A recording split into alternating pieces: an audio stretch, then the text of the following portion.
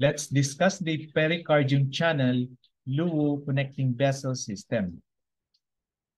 Pathway, the luo connecting pericardium vessel system separates from the pericardium primary channel at its associated luo connecting point P6.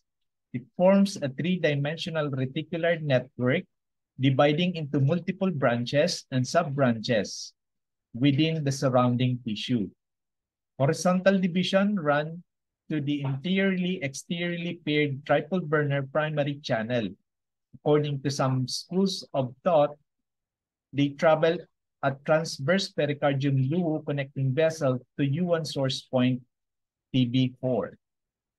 A longitudinal division follows the pericardium primary channel along the anterior aspect of the arm, crosses REN 17 on the midline on the level of the fourth intercostal space, penetrates the thorax and terminates at the pericardium and the heart.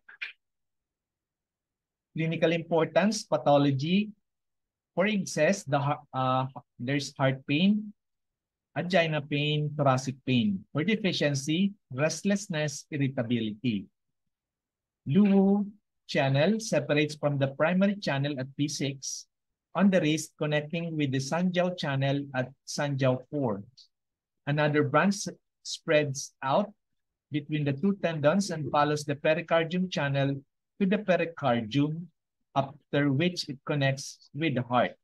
Symptoms of excess, chest pain, symptoms of deficiency, irritability.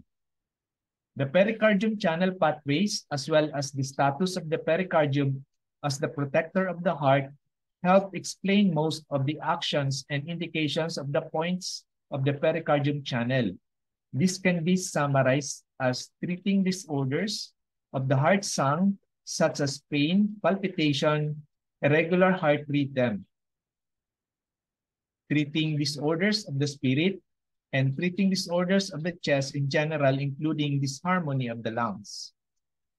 Treating disorders of the upper or middle jiao due to stagnation of the chi of the foot, Jueyin liver channel with which the pericardium channel is paired according to six-channel theory. Treating disorders of the middle jiao, especially the stomach. Treating disorders of the lateral costal region, the pericardium sinew channel disperses over the anterior and posterior ribs. Treating febrile disease, the pericardium belongs to fire and takes the burn of attack by exterior pathogen that might otherwise injure the heart.